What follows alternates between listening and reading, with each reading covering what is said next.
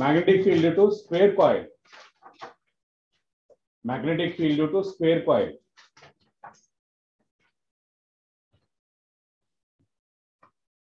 So next square shape లో ఉంటాయి అప్పుడు ఎలా చేయాలి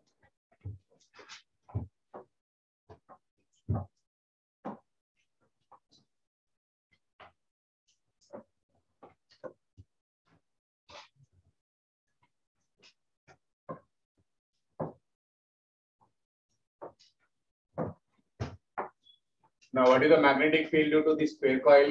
at center? Assume that side length is A. So, this is a current carrying coil, square type. Now, what is the magnetic field at point P? So, is it zero or non-zero? So, non-zero. Non-zero అయితే ఎంత? So ఎలా solve చేయాలి దేని base చేసుకుని solve చేయాలి ఏ concept base చేసుకుని solve అంటే ప్రీవియస్ కాన్సెప్ట్ లో ఏ కాన్సెప్ట్ అప్లై చేస్తే దీన్ని చేయొచ్చు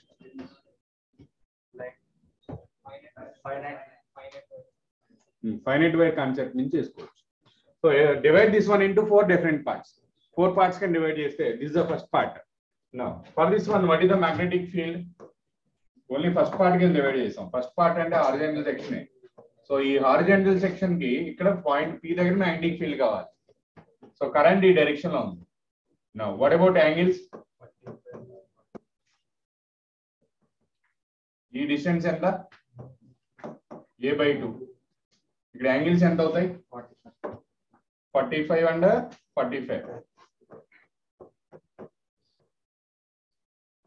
so here angle is forty five here angle is forty five so distance a by two so finite wire కి అప్లై చేసాం అనుకోండి కాన్సెప్ట్ ఫైనట్ వైర్ కి ఫార్ములా ఏంటి B equal to so mu naught into I by four pi into four pi into r r value ఎంత ఇక్కడ a by two four pi into a by two sine theta one plus sine theta two that means sine forty five plus sine forty five sine forty five value ఎంత one by root two one by root two plus one by root two so one by two two into one by root two that is nothing but root two root two అవుతుంది మొత్తం one by root two plus one by root two ఎంత అవుతుంది root two అవుతుంది so root two into this much net magnetic field to this is magnetic field to one coil that is root two into mu naught into I by two pi into a so లేదంటే two root two into four pi a so denominator లో four pi ఏ ఉంచారు so two root two ఇక్కడ two కూడా పైకి వెళ్తుంది కదా two root two a this is magnetic field to one coil so ఇలాంటివి ఎన్ని ఉన్నాయి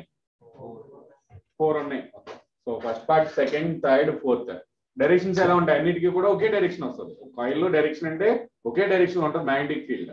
so magnetic field అంతా ఇంటూ ద పేజ్ ఉంటుంది దీనికి అయితే నా what the magnetic net magnetic field so దీన్ని ఫోర్ తో మల్టిప్లై చేస్తే సరిపోతుంది కదా దీన్ని ఫోర్ తో మల్టిప్లై చేయాలి సో ఒక టూ క్యాండిల్ చేసాం అనుకోండి ఇక్కడే టూ క్యాండిల్ చేస్తే టూ పై ఏ ఉంటుంది అవునా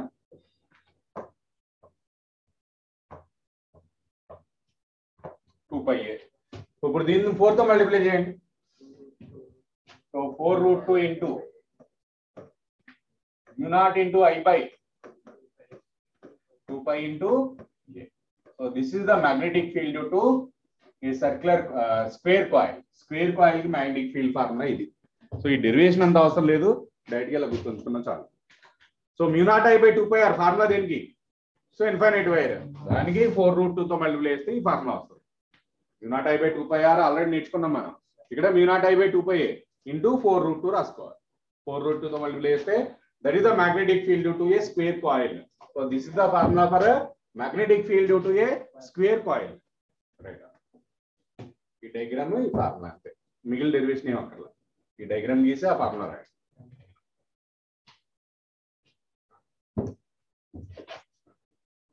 క్వశ్చన్ వరకే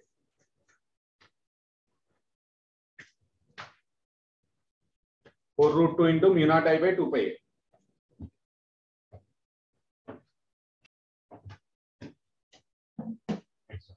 Magnetic field due to a equilateral triangle at its center. So triangle form it like triangle it. Magnetic field due to an equilateral triangle at its center.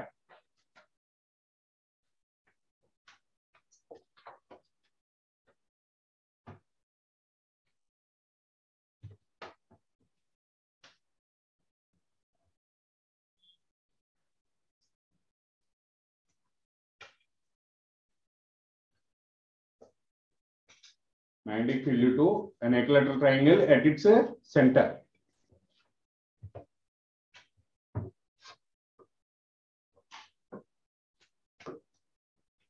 So assume that this is an equilateral triangle of side length A. Just we need to calculate magnetic field at point B that is at the center of this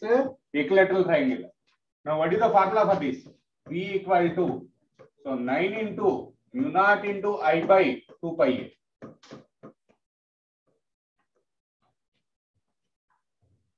Three sides ఉంటాయి three square కింద గుర్తుపెట్టుకోండి three square into mu naught I by two pi రాస్తే సరిపోతుంది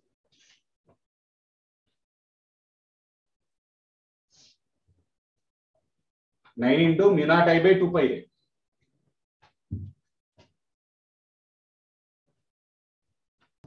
సరే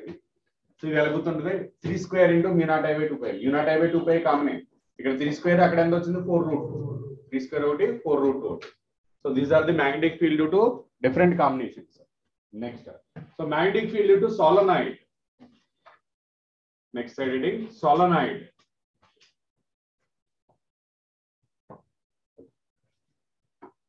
Next. So what is meant by solenoid? Solenoid end. So that is also circular coil. So if the circles are placed side by side like this, like a spring. So if a wire wound like this, then that is called a solenoid. So wire ని ఇలా చుడితే మనం ఒక ఒక loop పక్కన ఇంకో loop వచ్చేలా చుడితే ఒక solenoid అని చెప్తాం సోల్నాయిడ్ లో నెంబర్ ఆఫ్ టర్న్స్ ఉంటాయి నెంబర్ ఆఫ్ టర్న్స్ ఉంటాయి కరెంట్ సేమే నా what about magnetic field so magnetic field ఎక్కడ ఉంటుంది so here three different positions are there one is outside of the solenoid next inside at centre of the solenoid so inside at one end of the solenoid three cases we need to discuss that is one is outside the solenoid, either this side or this side. Next point is, uh, so inside the solenoid, that is nothing but, uh, so this point. So inside is this one, outside point. Next, uh, at one end of the solenoid. ఈ three places దగ్గర magnetic field formulas ఉన్నాయి so magnetic field outside the solenoid is zero. Now, what is the magnetic field at the center of the solenoid? P equal to mu naught Ni. That is only the formula. Mu naught Ni. So at one end of the solenoid, formula is mu naught ni by 2, half of the center. Half at center. Center దగ్గర ఉన్నదానికి half. Mu naught ni by 2 only. So this is about solenoid. Now what about direction of magnetic field? So we can uh, we can uh, assume the direction or we can identify the direction with help of right hand rule only. Here also. Here also right hand rule. Coil కి magnetic field also వస్తుంది ఇక్కడ కూడా అంతే. check the direction of magnetic field once. So current direction is this one. This is the current direction. So magnetic field direction is denoted by this one. This is the current. So this uh, uh, brown color is current one, uh, yellow color is magnetic field. Yellow color lines and magnetic field lines. So brown color lines and current direction. Current direction brown color. Yellow colour ఏమొస్తున్నాయి magnetic field current ఎటు నుంచి pass అవుతుంది ఇటు నుంచి pass అవుతుంది కదా so ఇటు నుంచి pass అయిన తర్వాత ఇలా ఎంటర్ అవుతుంది ఇలా ఎంటర్ అయితే మ్యాగ్నెటిక్ ఫీల్డ్ తమ్ డైరెక్షన్ ఎలా వస్తుంది సో ఇలా ఎంటర్ అవుతున్నాయి టమ్ డైరెక్షన్ ఫింగర్స్ డైరెక్షన్ ఎలా వస్తుంది ఇటే కదా అంటే ఆరో మార్క్స్ ఎలా గీయాలి మనం ఇటే సో ఇటు ఆరో మార్క్స్ గీస్తున్నాం అంటే నార్త్ నుంచి సౌత్ వస్తున్నాయి కంప్లీట్ సర్కిల్సే కదా ఆరో మార్క్ గీస్తాం ఈ ఆరో మార్క్ ఇలా కంటిన్యూ అయ్యి మళ్ళీ బ్యాక్ వస్తుంది మ్యాగ్నెటిక్ ఫీల్డ్ అయినప్పుడు కూడా కంటిన్యూ కంటిన్యూ సర్కిల్స్ ఉంటాయి సో ఎరో మార్క్ ఇలా గీసుకుంటాం ఎరో మార్క్ ఎలా గీయాలి ఇటు గీసుకోవాలి కరెంట్ డైరెక్షన్ రివర్స్ లో ఉంటాయి సెకండ్ నుంచి ఎరో మార్క్ ఇటు వస్తుంది సేమ్ మళ్ళీ రెడ్ హ్యాండ్ రూల్ ఇక్కడ కూడా ఇంకా ఎగ్జాంపుల్ చూద్దాం సో అసలు సోల్నాయిడ్ డయాగ్రామ్ అంటే ఎలా ఉంటుంది సో ఒరిజినల్ సోల్నాయిడ్ ఎలా ఉంటుందో చూద్దాం సో ఇది సోల్నాయిడ్ ఎలా వర్క్ చేస్తుంది అనేది సోల్నాయిడ్ ఎలా వర్క్ చేస్తుంది that is nothing but electromagnet law work చేస్తుంది electromagnet so what is the general example of solenoid అసలు సోల్నాయిడ్ మన ఎక్విప్మెంట్ లో ఎక్కడైనా ఉందా household equipment or household appliances లో ఎక్కడైనా సోల్నాయిడ్ యూజ్ చేస్తామా హౌస్ హోల్డ్ అప్లయన్సెస్ లో సోల్నాయిడ్ ఎక్కడన్నా యూజ్ చేస్తారా మైక్రోవేవ్ అని సో కాదు ఇంకా హీటర్ కాదు ఇంకా అసలు సోల్నాయిడ్ పర్పస్ ఏంటి అసలు సోల్నాయిడ్ ప్రాక్టికల్ గా దాన్ని ఎలా యూజ్ చేయొచ్చు మనం సోల్నాయిడ్ సో ఈ డయాగ్రామ్ లో చూపించినట్టే ఇలా మూవ్ చేయొచ్చు సోల్నాయిడ్ నువ్వు యూజ్ చేసి ఏదైనా ఒక ఆబ్జెక్ట్ మూవ్ చేయాలంటే మూవ్ అవుతుంది సో గ్రైండర్ నో ఇంకా లార్జ్ అప్లయన్సెస్ లో వాడతాం వాషింగ్ మిషన్ లో వాడతాం సో ఎలా పర్పస్ ఏంటి ఏ పర్పస్ లో వాడచ్చు దాన్ని సో మెయిన్ ప్రాక్టికల్ అయితే ఇలాగే వాడతాం జస్ట్ ఇది ఇన్సైడ్ వాటి ఏమన్నా మూవ్ అవుతుంది సో ఆటోమేటిక్ గా ఆన్ అవ్వగానే మూవ్ అవుతుంది ఆఫ్ అయితే ఆన్ అయినప్పుడు మూవ్ అవుతుంది చూడండి ఆన్ ఆఫ్ అవుతా ఉంటే మూవ్ అవుతా ఉంటాం ఇది ప్రాక్టికల్ గా జరిగేది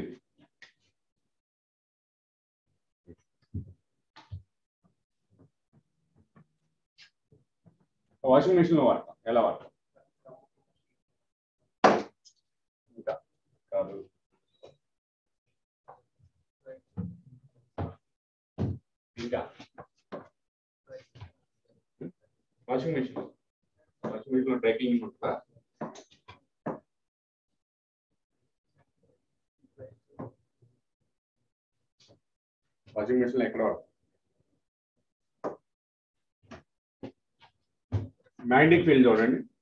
just direction of magnetic field this the solenoid current direction ఎలా ఉంటుంది ఈ డైరెక్షన్ లో కరెంట్ ఉంటుంది so white direction current direction అంతేగా మ్యాగ్నెటిక్ ఫీల్డ్ బ్లూ లైన్ తో డెనోట్ చేసేటువంటి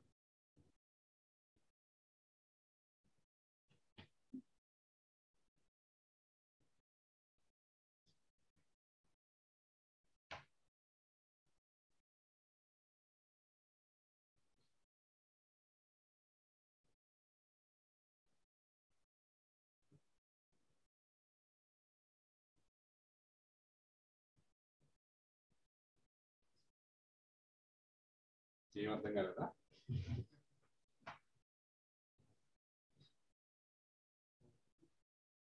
కరెంట్ డైరెక్షన్ వైట్ మార్క్ ఏంటి కరెంట్ డైరెక్షన్ కరెంట్ డైరెక్షన్ ఇలా ఉందనుక మ్యాగ్నెటిక్ ఫీల్డ్ ఎటు ఉండాలి into the page into the page ఉండాలి కరెంట్ డైరెక్షన్ పైకి ఉంటే so magnetic field out of the page అంతే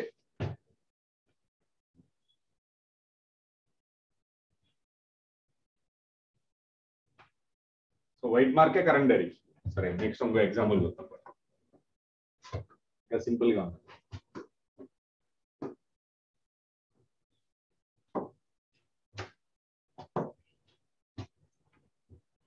సోల్నైట్ సో ప్రాక్టికల్ ఎక్విప్మెంట్ ఇలా ఉంటది అంటే సోల్నైట్ లో గ్యాప్ ఏ ఉండదు సో వైర్ కాంబినేషన్ అంటే సర్కిల్ కి సర్కిల్ కి మధ్యలో గ్యాప్ ఏ ఉండదు సో అన్ని క్లోజ్డ్ సర్కిల్స్ మనం చూపించినట్టు డయాగ్రామ్ లో స్ప్రింగ్ చూపించినట్టు డైరెక్ట్ గా అలా ఉండదు స్ప్రింగ్ లా ఉండదు అన్ని క్లోజ్ గా ఉంటాయి వెరీ క్లోజ్ టుగెదర్ అంటే ఒక వైర్ పక్కన ఇంకో వైర్ వచ్చేసేయాలి మరి అలా వచ్చినప్పుడు డైరెక్ట్ కాంటాక్ట్ అయిపోతాయిగా ఈ సర్కిల్ ఈ సర్కిల్ కాయిల్ కాంటాక్ట్లో ఉండాలిగా అలా ఎందుకు ఉండదు సో లేయర్ ఉంటుంది పైన ప్రతి వైర్కి ఒక లేయర్ ఉంటుంది కవర్ ఉంటుంది ప్రతి దానికి ప్రతి వైర్కి ఒక కవర్ ఉంటుంది సో కరెంట్ ఇందులో ఇందులోకి పాస్ అవుతుంది డైరెక్ట్గా ఆ వైర్లో అలా పాస్ అవుతూ ఉంటుంది సో పక్కపక్క ప్లేస్ చేసినా ఒకదాని మీద ఒకటి ప్లేస్ చేసినా రెండు కాంటాక్ట్లోకి రావు మధ్యలో ఒక లేయర్ ఉంటుంది అనమాట so this is the basic combination of solenoid solenoid basic combination ఇది సో ఇది ఆన్ ఆఫ్ స్విచ్ కింద యూజ్ చేయొచ్చు దీన్ని ఎలా యూజ్ చేస్తాం సాల్ ని ఆన్ ఆఫ్ స్విచ్ కింద యూజ్ చేయొచ్చు అదే వాషింగ్ మిషన్ లో అయితే పర్పస్ ఎలా ఉంటుంది సో వాటర్ వదులుతుంది ఆటోమేటిక్ గా వదులుతుందా మనం వెళ్ళి ఆన్ చేయాలి వాటర్ని ఆటోమేటిక్గా వదులుతుందా లేదా సో ఆటోమేటిక్ గా వదులుతుంది అది దేని యూజ్ చేస్తాం అంటే సాలనైడ్ యూజ్ చేస్తారు సాలనైడ్ యూజ్ చేసే ఆన్ ఆఫ్ స్విచ్ అనేది పనిచేస్తుంది అక్కడ వాటర్ ని ఆన్ చేయటం ఆఫ్ చేయటం సో మరి ఆన్ ఆఫ్ స్విచ్ డైరెక్ట్ గా డిజిటల్ బోర్డు ఏదో చిన్న బోర్డు పెట్టుకోవచ్చు ఇది ఎందుకు పెట్టాలి డైరెక్ట్ గా చిన్న బోర్డు పెట్టుకోవచ్చు కదా ఇది ఎందుకు పెట్టాలి సో సేమ్ ఇలాగే ఉంటుంది అందులో కూడా కాబట్టి ఇక్కడ ఒక రాడ్ ఉంటుంది ఆ రాడ్ పైకి కిందకి మూవ్ అవుతుంది ఇంత ప్రీవియస్ డయాగ్రామ్ లో చూసాం కదా ఒక రాడ్ మూవ్ అవుతుంది పైకి కిందకి సో అలాగే మూవ్ అవుతుంది సో వాషింగ్ మిషన్ లో ఎలా ఆ వాటర్ ని ఆటోమేటిక్ గా అది ఎలా వదులుతుంది ఒకసారి ఆలోచించండి ఎలా వదులుతుంది ఆటోమేటిక్ మనం వదలాలంటే ట్యాప్ అంతా తిప్పాలి నార్మల్ ట్యాప్ తీసుకుంటే అదంతా తిప్పాలి మరి అది ఎలా వదులుతుంది సింపుల్ గా గేట్ లిఫ్ట్ చేస్తుందా పైకి గేట్ ఆన్ పెట్టి గేట్ లిఫ్ట్ చేస్తాడా లీక్ అయిపోతుంది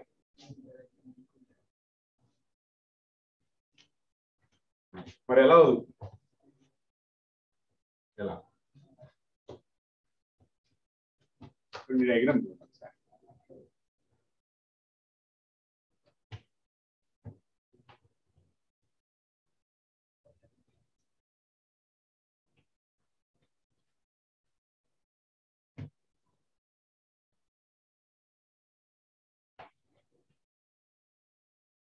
డైగ్రామ్ అర్థమైంది అసలు డైగ్రామ్ అర్థమైందా ఇది ఒకటే దీని క్రాస్ సెక్షనల్ వ్యూనే ఇది దాన్ని కట్ చేసి చూస్తే ఇది ఇవన్నీ టర్న్స్ ఇవి నెంబర్ ఆఫ్ టర్న్స్ ఇలా ఇలా ఉన్నాయి ఒకదానిపైన ఒకటి ఉంది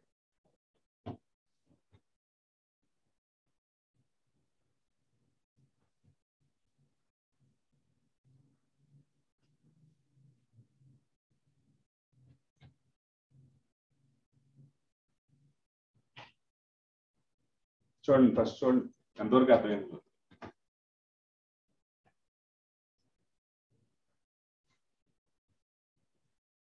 కరెంట్ ఆన్లో ఉన్నప్పుడు కంప్రెస్ అయింది సో ఆఫ్ అయినప్పుడు మళ్ళీ రిలీజ్ అయిపోయింది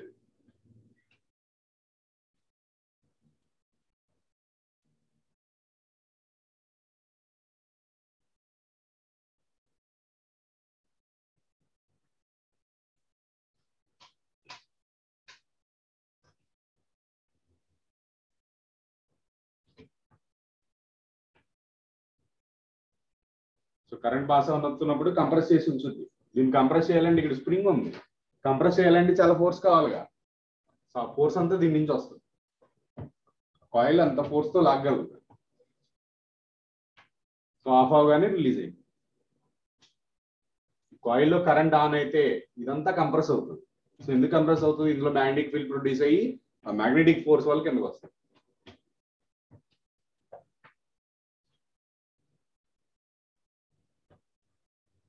సో వాటిలో ఏమంటాడంటే రిలే అంటాడు అంటే టెక్నికల్ లాంగ్వేజ్ ఏంటది రిలే అంటాం మనం సాల్ నైట్ అంటాం కదా so that is nothing but relay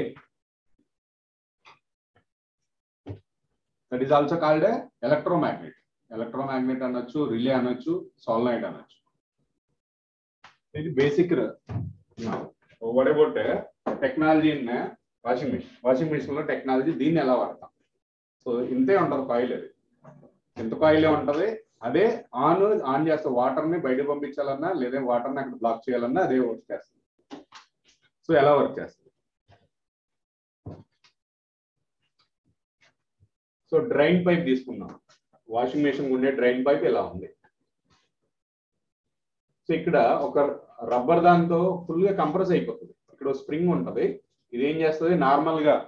of లో ఉండాలంటే ఇప్పుడు ఈ డ్రైన్ పైప్ ని కంప్రెస్ చేసేస్తుంది సో ఈ డ్రైన్ పైప్ లో ఒక స్ప్రింగ్ అరేంజ్మెంట్ ఉంటుంది ఇది ఎప్పుడు కంప్రెస్ అయిపోయి ఉంటుంది కంప్రెస్ అయితే ఏమవుతుంది ఇందులోంచి ఇక్కడ ఉన్న ట్యాంక్ లో ఉన్న వాటర్ ఇందులోంచి బయటకు వెళ్ళింది సో ట్యాంక్ కి బాటమ్ దగ్గర కనెక్ట్ అయి ఉంటుంది సో లోపల ఒక స్ప్రింగ్ అరేంజ్మెంట్ ఉంటుంది సో ఎప్పుడు ఇలా కంప్రెస్ చేసి పట్టుకుంటుంది ఇలా కంప్రెస్ చేయడం వల్ల ఏమవుతుంది ఈ పైన ఉన్న ట్యాంక్ లో ఉన్న వాటర్ కింద ఇందులోకి లీక్ అవ్వదు ఇక్కడ సో ఈ డ్రైన్ పైప్ లోకి లీక్ అవ్వదు సో మరి దీన్ని ఇంత ఎక్కువ కంప్రెస్ చేస్తేనే కదా వాటర్ ఫోర్స్ అంతా బయటకు వెళ్లకుండా ఉండేది ఆ వాటర్ ఫోర్స్ అంతా బయటికి వెళ్లకుండా ఉండాలంటే ఏమి ఉండాలి ఇది బాగా ఎక్కువ కంప్రెస్ అయ్యి ఉండాలి అంటే ఇక్కడ ఉన్న స్ప్రింగ్ ఎలా ఉండాలి స్ట్రాంగ్ చాలా స్ట్రాంగ్ అంటే గట్టిగా ఉన్న స్ప్రింగ్ ఉంటుంది చాలా గట్టిగా మనం డైరెక్ట్ గా చేతితో కూడా లాగలేం అంత ఫోర్స్ తో కంప్రెస్ అయ్యి ఉంటుంది సో అలా కంప్రెస్ చేయడం వల్లే ఈ ట్యాంక్ లో ఉన్న ఒక ఫార్టీ లీటర్ వాటర్ అంతా కూడా బయటికి వెళ్లకుండా ఉంటుంది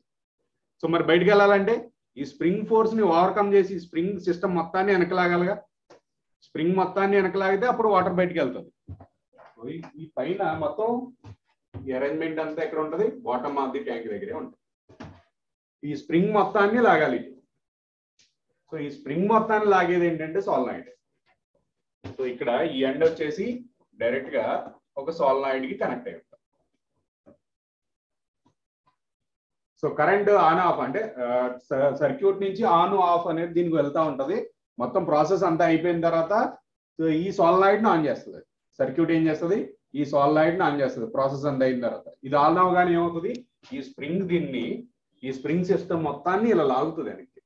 అదే మనం హ్యాండ్ పట్టుకుని లాగినా అది గట్టిగా లాగితేనే కానీ రాదు సో ఇదంతా వాషింగ్ మిషన్ లో ఉండే టెక్నాలజీ సో దీన్ని అంతా ఆపరేట్ చేసేది ఏంటి చిన్న సాల్నాయిడే ఉంటుంది చిన్న సాల్నాయిడ్ ఉంటుంది సో పైన వాటర్ ఎలా చేయాలన్నా అదే సో వాటర్ ఆటోమేటిక్గా తీసుకుంటుందో మనం ఎలా చేస్తాం మనం ఆటోమేటిక్ గా తీసుకుంటుందా మనం ప్రతిసారి ఆన్ చేస్తాం వాటర్ ఆన్ చేస్తాం ఆటోమేటిక్ తీసుకుంటే సో ఆటోమేటిక్ గా తీసుకుంటాం ఆటోమేటిక్ గా ఆన్ చేస్తుంది అంతే కదా సో అదే సిస్టమ్ ఇదే సిస్టమ్ పైకి కూడా ఉంటుంది సో ఇన్లెట్ దగ్గర కూడా సేమ్ ఇదే సిస్టమ్ ఉంటుంది అవుట్లెట్ దగ్గర కూడా అదే సిస్టమ్ ఉంటుంది అంటే చిన్న కాయిలే మొత్తం మనం ఆ వాటర్ అంతా ఆఫ్ చేయాలన్నా లేదంటే రిలీజ్ చేయాలన్నా ఇక్కడ ఏంటి అడ్వాంటేజ్ ఏంటి బేసిక్ మెకానికల్ అడ్వాంటేజ్ అంటే సో ఇది చాలా ఫోర్స్తో వెనక్కి లాగగలం సో సోలనాయిడ్ అనేది ఇలా ఫోర్స్ తో లాగి అలా పట్టుకుంటుంది ఇంత ఫోర్స్ లాగిన తర్వాత వెంటనే వదిలేస్తే ఏమవుతుంది మళ్ళీ బ్లాక్ అయిపోతుంది కదా వాటర్ అంతా డ్రైన్ అయ్యే వరకు ఇది ఆన్ లో ఉన్నంత వరకు ఏమవ్వాలి ఇది గ్యాప్ వచ్చేలాగా అంటే ఇక్కడ వరకు కంప్రెస్ అయిపోవాలి ఇది గ్యాప్ మధ్యలో గ్యాప్ వస్తుంది ఆ గ్యాప్ లోంచి వాటర్ బయట అంటే అంత ఫోర్స్ దాన్ని లాగి పట్టుకోవాలి ఇప్పటి వరకు వాటర్ డ్రైన్ అయ్యేంత వరకు పట్టుకుంటాం మళ్ళీ సర్క్యూట్ నుంచి కమాండ్ రాగానే సో ఇది ఆఫ్ అయిపోతుంది ఇది ఆఫ్ అయిపోగానే మళ్ళీ as it is normal position ఈ పొజిషన్కి వచ్చేస్తుంది సో ఈ సిస్టమ్ అంతా రన్ అవుతుంది సో వాటర్ సో అందులోకి ఎంటర్ అవ్వాలన్నా బయటికి రావాలన్నా అక్కడ దేనితో వర్క్ చేస్తుంది అవి సోలనాయిడ్తోనే వర్క్ చేస్తుంది సోల్నాయిడ్ అంటే వాళ్ళ టెక్నికల్ టెక్నికల్ లాంగ్వేజ్ వేరే ఉండొచ్చు కానీ బేసిక్ ప్రాసెస్ ఏంటి అది సోలనాయిడే అక్కడ ఉండేది పైన వాషింగ్ మిషన్ లో పైన ఉంటుంది అలాగే కింద కూడా ఉంటుంది రెండు ప్లేస్లో ఉంటుంది సో ఇన్లెట్స్ పైప్ కనెక్ట్ చేస్తాం చూసారా లేదా ఎప్పుడన్నా ఇన్లెట్ కనెక్ట్ చేసే దగ్గర లోపల అరేంజ్మెంట్ ఉంటుంది అవుట్లెట్ దగ్గర కూడా లోపల అరేంజ్మెంట్ ఉంటుంది అది బయటికి కనిపించవు రెండు కనిపించవు బయటికి సో ఎప్పుడైనా రిపేర్ వచ్చినప్పుడు ఒకసారి అబ్జర్వ్ చేయండి అంతేగాని మీరు రిపేర్ చేయరు ఎందుకంటే ఇది సోలనాయిడ్ అనేది ఏసీ మీద రన్ అవుతుంది అంటే డీసీ కరెంట్ మీద రన్ అవుతుంది ఏసీ కరెంట్ మీద రన్ అవుతుంది ఏసీ కరెంట్ అంటే ఇంటి నది పెట్టారు షాక్ పడుతుంది సో డీసీ అయితే షాక్ పడుతుంది ఏసీ అంటే షాక్ పడుతుంది ఇవి డైరెక్ట్గా టచ్ చేస్తే షాక్ పడతాయి ఏసీ మీద రన్ అవుతుంది డైరెక్ట్ డైరెక్ట్ కరెంట్ మనం డైరెక్ట్ ఈ నుంచి రన్ నుంచి కరెంట్ వెళ్తే ఎలా ఉంటుందో అలాగే ఉంటుంది so normal uh, digital circuits అయితే డీసీ అంటే ట్వెల్వ్ వోల్టే ఉంటుంది ట్వెల్వ్ వోల్ట్ ఉంటుంది కాబట్టి నార్మల్ బోర్డుని టచ్ చేసినా ఏం కాదు సో తర్వాత మిగిలిన మోటార్ దగ్గర ఉన్న ని టచ్ చేస్తే షాక్ పడతాయి అవి టూ ఫిఫ్టీ వోల్ట్స్ మీద వోల్ట్ మీద రన్ అవుతాయి సో టూ ఫిఫ్టీ వోల్ట్ మీద రన్ అయ్యి వేరు ట్వెల్వ్ వోల్ట్ మీద రన్ అయ్యి వేరు అవునా కదా ఎక్విప్మెంట్ అనేది టూ ఫిఫ్టీ వోల్ట్ మీద రన్ అయ్యి వేరే ఉంటాయి ట్వెల్వ్ వోల్ట్ మీద రన్ అయ్యి వేరే ఉంటాయి సో ట్వెల్వ్ వోల్ట్ మీద రన్ అయ్యేయండి టీవీ అన్ని కూడా టీవీ అన్ని టీవీ సిస్టమ్ అంతా కూడా ట్వెల్వ్ వోల్టే సో ఫస్ట్ మనం కరెంట్ పంపిస్తాం అక్కడ ట్రాన్స్ఫార్మర్ ఉంటుంది ఆ ట్రాన్స్ఫార్మర్ టూ ఫిఫ్టీ ని ట్వెల్వ్ వోల్ట్ కింద మార్చేస్తుంది ట్వెల్వ్ వోల్ట్ కానీ సిక్స్ వోల్ట్ కింద మార్చేస్తుంది అందుకని సర్క్యూట్ బోర్డు అంత షాక్ ఎక్కువ కొట్టదు షాక్ ఎందుకు కొట్టదు టీవీ సర్క్యూట్ సో అది ట్వెల్వ్ వోల్ట్ కింద కన్వర్ట్ అయిపోతుంది సో అలా కాకుండా డైరెక్ట్గా ఏసీ అనుకో సో ఏసీ ఇక్కడ ఉన్న ప్యానల్ బోర్డు అయితే డైరెక్ట్గా డీసీ మీద పనిచేస్తుంది సో బ్యాక్ సైడ్ మోటార్ పని చేయాలంటే డైరెక్ట్గా ఏసీ సర్క్యూట్ అంటే టూ ఫిఫ్టీ వోల్ట్ ఉంటుంది బయట బయట ఇప్పుడు టచ్ చేయం అందుకనే సో లోపల ఇప్పుడు కూడా అది కన్వర్ట్ చేసి వస్తుంది కాబట్టి లోపల అయితే ట్వెల్వ్ వోల్ట్సే ఉంటుంది సో డైరెక్ట్ వైర్ని ఎప్పుడు టచ్ టచ్ చేయకూడదు అక్కడ సో కనెక్ట్ చేసిన తర్వాత అంటే ట్రాన్స్ఫార్మర్ ఇలా ఉందనుకోండి సో ఈ ముందు వైర్లు అంతా ఎలా ఉంటాయి two fifty volt two fifty so తర్వాత వచ్చేది ట్వెల్వ్ వోల్ట్ సో మనకి ట్వెల్వ్ వోల్ట్ వస్తుంది అన్నాను కదా అని ఇటే టచ్ చేసాం అనుకోండి ఏమవుతుంది షాక్ పడుతుంది ట్వెల్వ్ వోల్ట్ అనేది ఇటు సైడ్ ట్వెల్వ్ వోల్ట్ వస్తుందో కూడా చూసుకోవాలి సో అటు సైడ్ టచ్ చేస్తే ఓకే ఏం కాదు అలాంటి టచ్ చేయమని కాదు సో ఎప్పుడు టచ్ చేయకూడదు అది ఎక్విప్మెంట్ గురించి తెలిస్తే అప్పుడు ఓకే సో తెలియకపోతే టచ్ చేయకూడదు సో ఏసీ బీసీ కింద మారిన తర్వాత ఎక్కడ మారుతుందో మనకి ఐడియా ఉంటే ఏ ప్లేస్ లో మారుతుందో ఆ సర్క్యూట్ లో ఐడియా ఉంటే ఓకే టచ్ చేయొచ్చు లేదంటే టచ్ చేయకూడదు నెక్స్ట్ సో ఇది ఎక్కువ ఫోర్స్ కూడా అప్లై చేయగలదు సోలనాయిడ్ ఏంటి ఇలా గట్టిగా లాగి పట్టుకోగలదు లేదంటే కంప్రెస్ చేసి పట్టుకోగలదు సో ఎక్కువ ఫోర్స్ కూడా అప్లై చేయగలదు అది బేసిక్ అడ్వాంటేజ్ అనమాట సోలనాయిడ్ బేసిక్ అడ్వాంటేజ్ అదే ఆన్ ఆఫ్ స్విచ్ అనుకోండి మనం ఏం చేస్తాం డైరెక్ట్ గా డిసి చిన్న సర్క్యూట్ చిన్న చిప్ పెడితే అదే ఆన్ చేస్తుంది ఆఫ్ చేస్తుంది డీసీ సర్క్యూట్ చింత అవసరం లేదు ఇది ఎక్కువ ఫోర్స్ కావాలంటే ఎక్కువ ఫోర్స్ ఆ డీసీ సర్క్యూట్ అప్లై చేయగలదా ఫోర్స్ అప్లై చేయగలదా ఫోర్స్ అప్లై చేయలేదు జస్ట్ ఆన్ చేయగలదు ఆఫ్ చేయగలదు డీసీ సర్క్యూట్ కానీ చేయలేదు సో ఇలాంటి పర్పస్ అన్నిటికీ ఏముంటది సోలనాయిడే ఉంటుంది ఎలాంటి పర్పస్ వచ్చిందంటే సోలనాయిడే ప్లేస్ చేస్తాడు నెక్స్ట్ సో ఇప్పుడు నైట్ వర్కింగ్ చూసాం కదా ఎగ్జాంపుల్ అది ఒకసారి ఇప్పుడు చూడండి సో ఇక్కడ స్ప్రింగ్ అనేది ఎక్కువ ఫోర్స్ తో అప్లై చేయగలరు ఇది కంప్రెస్ చేయాలన్నా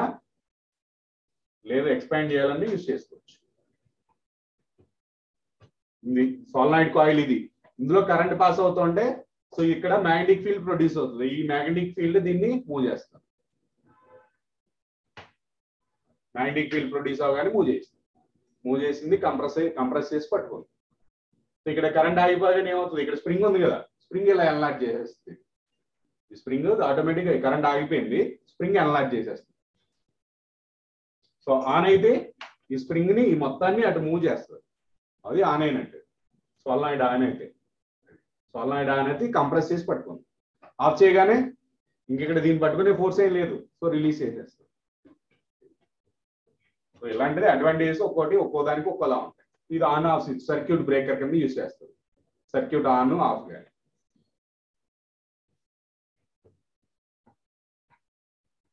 సో వీటిని జనరల్గా ఏమంటాం అంటే వెహికల్స్కి వచ్చేసరికి రిలేస్ అంటాం వెహికల్స్ లో యూజ్ చేసే టెర్మినాలజీ ఏంటి రిలేస్ అంటాం రిలే అంటే లైట్స్ ఉన్నాయనుకోండి లైట్స్ కానీ వైపర్ కానీ ఆన్ అవ్వాలి సో వైపర్ ఆన్ చేస్తాం ఓకే మనం ఆఫ్ చేయగానే మధ్యలో ఉండిపోవాలిగా సో వైపర్ ఇలా క్లీన్ చేస్తుంది గ్లాస్ ని సో మనం ఆఫ్ చేసాం స్విచ్ ఆఫ్ చేస్తాం సో కార్ రన్నింగ్ లో స్విచ్ ఆఫ్ చేస్తాం ఆఫ్ చేయగానే మధ్యలో ఇక్కడ ఉండిపోవాలిగా మరి చివరికి వెళ్ళాక ఆగుతుంది లేదంటే ఈ చివరికి వచ్చాక ఆగుతుందా ఒరిజినల్ పొజిషన్ బాటమ్ దగ్గర ఉంటుంది మళ్ళీ బాటమ్ దగ్గరికి వచ్చాక ఆగుతుంది అదే ప్రీవియస్ లో అయితే పాత ఆర్టీసీ బస్సులు చూసారా లేదా ఎప్పుడన్నా అది మధ్యలో ఆపితే మధ్యలో ఉండిపోద్దు పాతే పాత బస్సుల్లో సో ఆడు మధ్యలో ఆపాడు ఎక్కడ ఆపాడు అక్కడే ఉండిపోద్దు సో మరి కార్లో అలా ఉండదుగా మధ్యలోకి వచ్చి ఆగిపోదుగా సో ఎందుకని సో వాటికి కూడా రిలే అంటారు సో రిలేస్ ఏం చేస్తాయంటే ఇవి సో ఇలా స్ప్రింగ్ సిస్టమ్ అంటారు మళ్ళీ ఆ పొజిషన్ తీసుకొచ్చి మళ్ళీ ఆపుతుంది అనమాట సో లేదు కొంత కరెంట్ అనేది అందులో స్టోర్ చేసుకుంటది ఆ రిమైనింగ్ కరెంట్ దానికి ఇచ్చి మళ్ళీ చివరికి వచ్చేదాకా సో వెయిట్ చేస్తుంది సో అదంతా ఆటోమేటిక్ ప్రాసెస్ అంటే అదంతా మాన్యువల్ గా జరగదు మాన్యువల్ గా జరుగుతుందా సో మధ్యలో వచ్చే ఆగిందని మళ్ళీ కొద్దిగా ఒకసారి స్విచ్ చేసి మళ్ళీ సగం తిప్పి మళ్ళీ స్విచ్ చేసి సగం తిప్పుతాం ఇదంతా చేస్తాం మనం ఏం చేయం చేయడానికి అంత టైం ఉండదు డ్రైవింగ్ లో ఉంటుందా జస్ట్ ఇలా ఆన్ చేయడం అనుకుంటా టైం సరిపోదు అనుకుంటాం అవునా కదా జస్ట్ ఇలా ఆన్ చేసి ఆఫ్ చేయడం ఎక్కడ ఉండదు ఐడియా ఉందా స్టీరింగ్ ఎంత ఉంటుంది స్టీరింగ్ కిందే అంటే జస్ట్ ఇలా పట్టుకుంటే స్టీరింగ్ మన చేతికి తగులుతూ ఉంటుంది సో లైట్స్ లాగానే సో జస్ట్ ఇలా పైకంటే ఒక సైడ్ మూవ్ అవుతుంది కిందకంటే బ్యాక్ మూవ్ అవుతుంటాయి సో అదంతా కూడా జస్ట్ ఇలా ఆన్ చేసి ఆఫ్ చేసామంటే ఒక కంప్లీట్ సైకిల్ సైకిల్ అయిన తర్వాత అది ఆగుతుంది అంటే మధ్యలో వచ్చి ఆగిపోదు ఎందుకంటే రిలీజ్ ఉంటాయి పాత దాంట్లో రిలీజ్ అయితే ఎక్స్ట్రా ఉండేది కాదు అందుకని ఎక్కడ ఆపితే అక్కడ ఆగిపోయాడు అందుకని చివరికి వచ్చేదాకా వెయిట్ చేసి అక్కడ ఆపుకున్నాడు సో ప్రజెంట్ కారులో కానీ ఇప్పుడు so solenoid magnetic field direction idea వచ్చిందా లేదా సో బేసిక్ సాల్నాయిడ్ ఎలా ఉంటది just that is a circular path solenoid అంటే జస్ట్ సర్కిల్స్ అంతే సర్క్యులర్ కాయిల్స్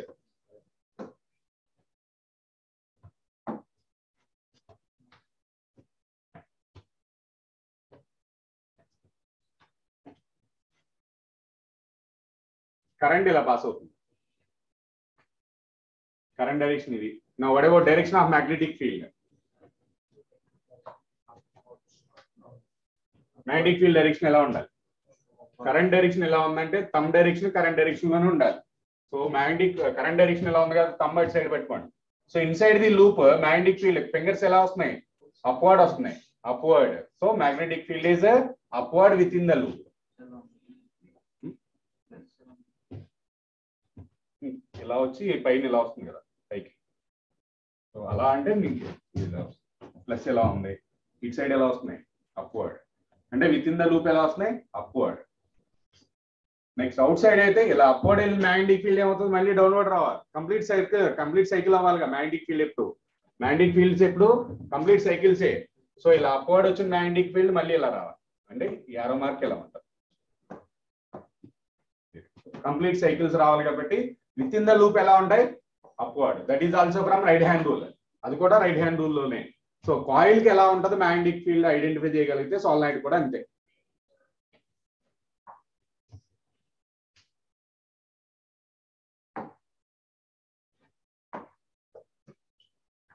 సో కాయిల్ కి ఇలా కరెంట్ పాస్ అవుతుంది అనుకోండి మ్యాగ్నెటిక్ ఫీల్డ్ ఎలా ఉంటుంది ఇది ఒక సర్క్యులర్ కాయిల్ కరెంట్ వచ్చేసి యాంటీ క్లాక్ వైజ్ ఉంది what is about magnetic field direction of magnetic field out of the or or into the out out of the same same దానికి కూడా నైట్ కూడా అంతే నైట్ కూడా రైట్ హ్యాండ్ రూలే సో ఇలా ప్లేస్ చేస్తాం తమ్ డైరెక్షన్ ఎలా ఉండాలి కాయిల్ లో సో కరెంట్ డైరెక్షన్ లోనే తమ్ డైరెక్షన్ ఉండాలి then your fingers gives the direction of magnetic field circular coil కి ఎలా ఐడెంటిఫై చేస్తామో నైట్ కూడా అంతే సేమ్ రూలే కొత్త రూల్ ఏం లేదు next so magnetic field to night outside the solenoid. First case, outside. So solenoid అంటే మనం ఎలా గీస్తాం ఇలా ఉంటుంది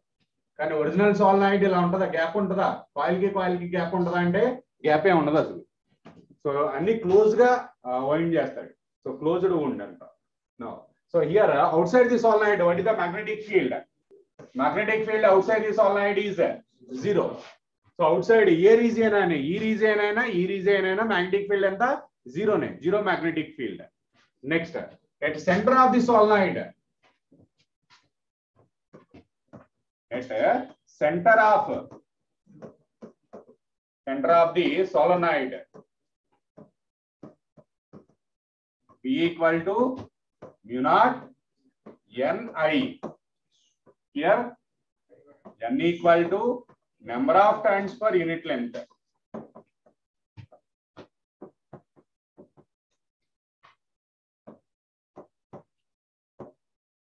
so what is n there what is small n number of times per unit length if capital if capital N is given then above equation becomes yes capital N కనిపిస్తే అంటే number of times ఇచ్చాడు అనుకోండి అప్పుడు naught n into i by l So replace a small n with n by L. If number of turns are given, then use this equation. If number of turns per centimeter or meter is given, then use this equation. And ఎలా ఇస్తాడు question లో So 100 turns per centimeter are there. The coil contains 100 turns per centimeter. So reverse లో 100 turns per centimeter అన్నాడు అంటే small N ఇచ్చాడా capital N ఇచ్చాడా hundred times per centimetre అన్నాడు number of times per centimetre ఇచ్చాడు అంటే times by length ఇచ్చాడుగా so this is nothing but small N ఇక్కడ లో ఉంది మరి మీటర్ లో మారిస్తే hundred into ten power two times per metre ఒక సెంటీమీటర్ కి హండ్రెడ్ ఉంటే మీటర్ కి ఎక్కువ ఉంటాయి తక్కువ ఉంటాయా ఇంకా ఎక్కువ ఉంటాయి so hundred into ten power two so centimetre denominator లో ఉంది డినామినేటర్ లో మైనస్ టూ వస్తుంది న్యూమినేటర్ కి ప్లస్ టూ వస్తుంది so one turn per centimetre అన్నాడు అనుకోండి అంటే ఒక మీటర్కి ఎన్ని ఉంటాయి ఒక సెంటీమీటర్ ఒక టర్న్ ఉంటే మీటర్కి ఎన్ని ఉంటాయి into hundred so hundred turns ఉంటాయి అలా మార్చుకోవాలి సో క్వశ్చన్ లో ఇలా ఇచ్చే ఛాన్స్ ఉంది so hundred turns per metre అలా ఇచ్చాడంటే స్మాల్ ఎన్ని ఇచ్చినట్టు అవి తీసుకొచ్చి ఎందులో సబ్స్టిట్యూట్ చేయాలి మనం ఈ ఫార్ములా సబ్స్టిట్యూట్ చేయాలి డైరెక్ట్ గా number of turns length of the solid ఇచ్చాడు అనుకోండి ఈ ఫార్ములా యూజ్ చేయాలి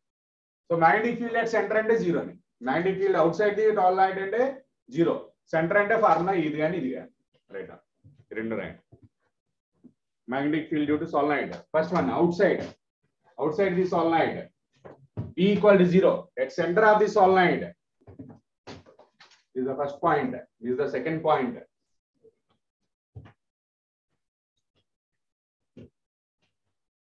so గుర్తుంచుకోవాల్సిన ఫార్ములా ఏంటి magnetic field due to solenoid అన్నాడంటే సెంటర్ అని కూడా అనక్కర్లా మనల్ని రైట్ గా నైన్టీ ఈక్వల్ టు సన్లైట్ అంటే mu naught N I mu naught N I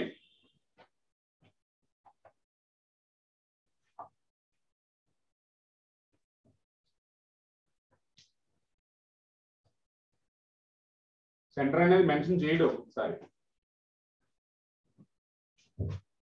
so what is meant by night అసలు నైట్ అంటే ఏంటి నైట్ అంటే ఎలా డిఫైన్ చేస్తాం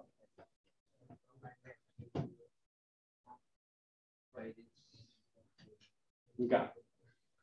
ఎలా చెప్పొచ్చు దాన్ని so wire is binding bind in the form of spring spring shape ఇంకా ఇంకా ఎగ్జాక్ట్ డెఫినేషన్ ఎలా చెప్తావు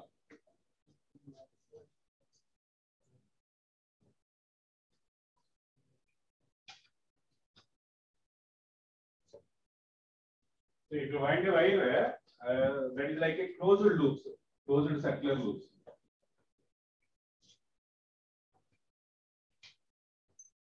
So gap ఏ ఉండదు ఇక్కడ డయాగ్రామ్ లో చూపించినట్టు లైట్ లో లూప్ కి లూప్ కి మధ్యలో గ్యాప్ ఏ ఉండదు సో సైడ్ బై సైడే ఉంటాయి ఎగ్జాక్ట్ గా సైడ్ బై సైడ్ ఉంటాయి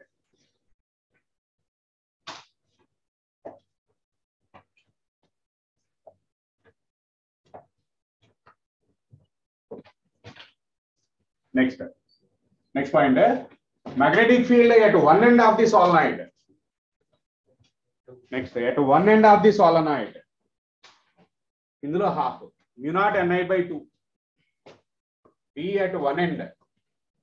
equal to mu naught N I by two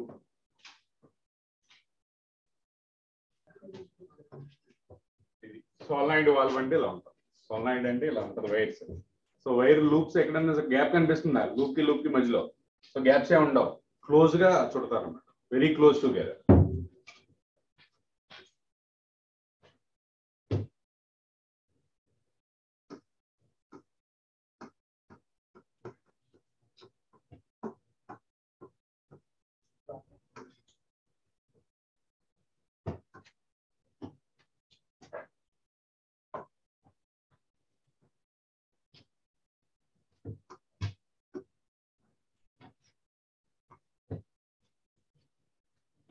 so coil magnetic fields ఎలా ఉంటాయి ఇలా ఉంటాయి సేమ్ ఇదే సాలనైడ్ కూడా సో కరెంట్ ఇటు ఉంటే మ్యాగ్నెటిక్ ఫీల్డ్ లైన్స్ ఎటు ఉంటాయి ఇన్సైడ్ అప్వర్డే కదా సో లోపల మ్యాగ్నెటిక్ ఫీల్డ్స్ పైకి ఉంటాయి సో ఈ పైకి వచ్చిన మ్యాగ్నెటిక్ ఫీల్డ్ క్లోజ్ అవ్వాలి కంపల్సరీ సో క్లోజ్ లూప్ ఉంటుంది మరి నెట్ ఎందుకు జీరో అవుతుంది outside outside net ఎందుకు జీరో అవుతుంది ఇన్సైడ్ చెప్తున్నాం అవుట్ సైడ్ జీరో అని చెప్తున్నాం కదా సేమ్ డైరెక్షన్ ఉంటే యాడ్ అవ్వాలి ఎక్కడ ఆపోజిట్ ఉంది సో ఆపోజిట్ డైరెక్షన్స్ వస్తాయి సో నెట్ అనేది జీరో అయిపోతుంది అవుట్ సైడ్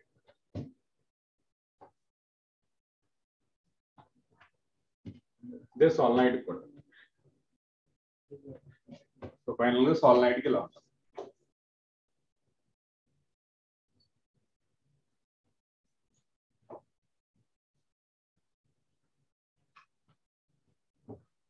ఎలా ఆపోజిట్ వస్తాయి ఆపోజిట్ ఎలా వస్తాయి అవుట్ సైడ్ అదే ఎలా సో ఇలా వెళ్ళి ఇలా మళ్ళీ బ్యాక్ రావాలిగా మరి ఆపోజిట్ ఎందుకు అవుతాయి అదే ఎలా అవుతాయి సింపుల్ లాజిక్ ఉంది అక్కడ సో ఇలా ఒక లూప్ ఉందండి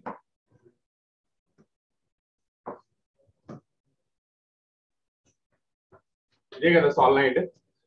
సో కరెంట్ ఇటు పాస్ అవుతుంటే ఇక్కడ ఇలా పాస్ అవుతుంది ఇక్కడ ఇలా పాస్ అవుతుంది మరి ఇక్కడ సో ఇలా వచ్చింది ఇది పైకి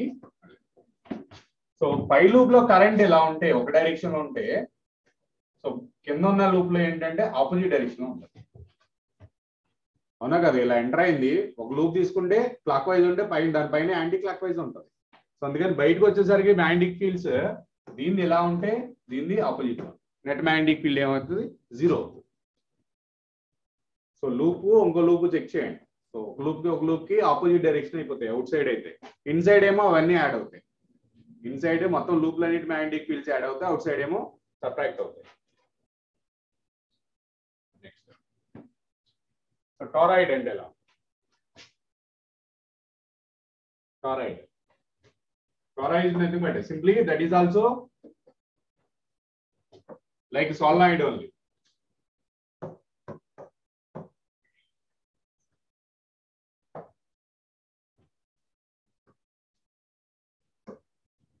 so solenoid అంటే స్ప్రింగ్ లా ఉంది కదా సో ఈ స్ప్రింగ్ రెండు ఎండ్స్ తీసుకొచ్చి కనెక్ట్ చేస్తాం అనుకోండి స్ప్రింగ్ రెండు ఎండ్స్ తీసుకొచ్చి కనెక్ట్ చేస్తే then that is nothing but toroid spring ని సర్క్యులర్ గా చేసి ఆ రెండు ఎండ్స్ ని కనెక్ట్ చేస్తే అది ఏమవుతుంది టోరాయిడ్ అవుతుంది so this is the example for that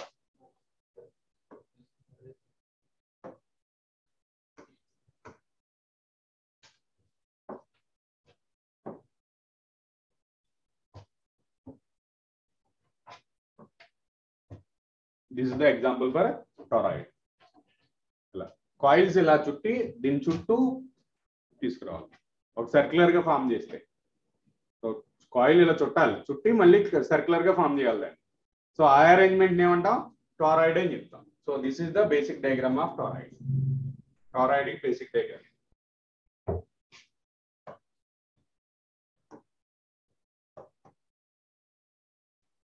coil ఇలా ఉంటే దాన్ని టొరాయిడ్ అంటాం అదే దాని పక్కన ఉండి ఒక ఒకలాగా ఉంటే ఒక సిలిండర్ లా ఉంటే దాన్ని సాల్వ్ సాల్నాయిడ్ సో దాన్ని సర్క్యులర్ గా తయారు చేస్తే దాన్ని టారాయిడ్ అని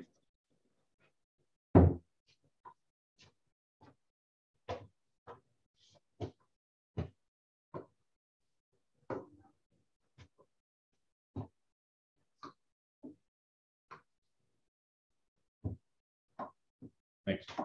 సో టారాయిడ్ డయాగ్రామ్ చూద్దాం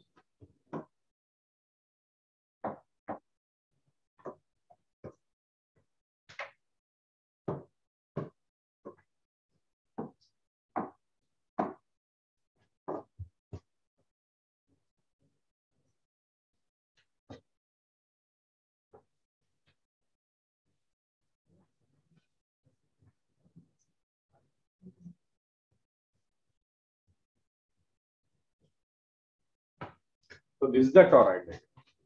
so circle గీసి దాంట్లో కాయిల్స్ ప్లేస్ చేయాలి that is the toroid diagram so assume that radius of the toroid is capital R radius ఎంత టోరాయిడ్ కి క్యాపిటల్ ఆర్ నా what is the magnetic field at point 1 just assume that uh, here uh, three points are there this is a uh, point 1 point 2 is inside this all uh, toroid uh, point 3 is outside so one complete inside only So second one that is uh, between the toroid. Third one outside only. So now what is the magnetic field at point one and three? Zero. So outside ana complete inside ana zero.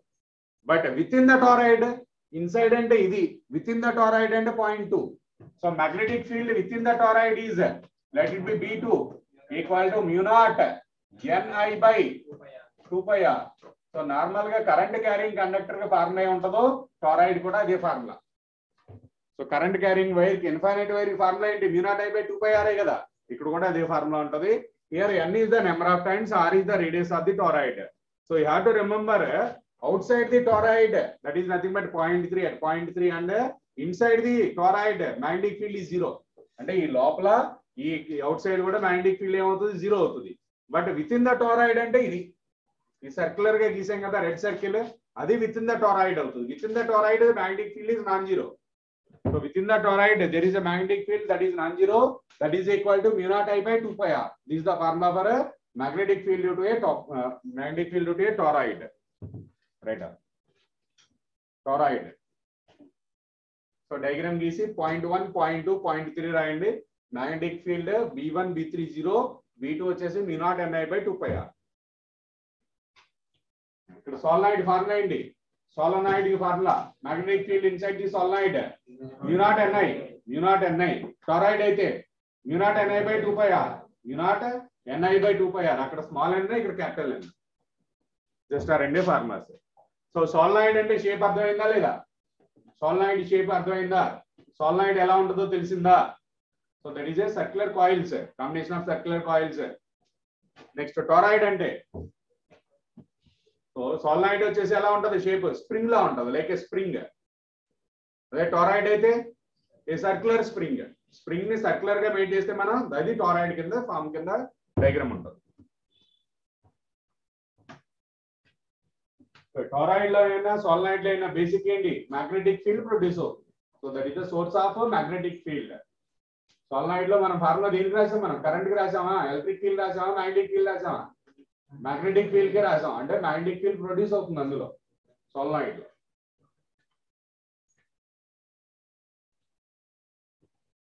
అంటే current carrying conductor source of the magnetic field కాదా current carrying conductor magnetic field produce చేస్తా చేయదా magnetic field produce చేస్తుంది so ఇప్పుడు వరకు discuss చేసుకున్నాయి కూడా ఏమని సర్క్యులర్ కాయిల్ కైనా ఇన్ఫైనైట్ వైర్ కైనా కరెంట్ క్యారింగ్ వైరే మ్యాగ్నెటిక్ ఫీల్డ్ ప్రొడ్యూస్ చేసింది ఇప్పుడు వరకు ఉన్న ఎగ్జాంపుల్స్ కానీ ఫార్ములాస్ అన్ని కూడా magnetic field produced by current carrying coil or current carrying conductor only. Circular గా అయితే coil అంటాం straight వైర్ అయితే కండక్టర్ అంటాం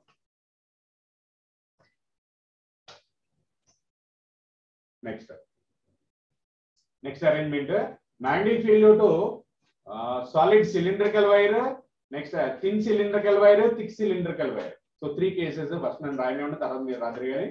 so three cases solid cylinder next hollow or thick silk thin cylinder next one thin cylinder thick cylinder thin thick solid మూడు solid thin thick so thin కి thick కి difference ఏంటి thin cylinder అంటే ఎలా ఉంటది thick cylinder అంటే ఎలా ఉంటది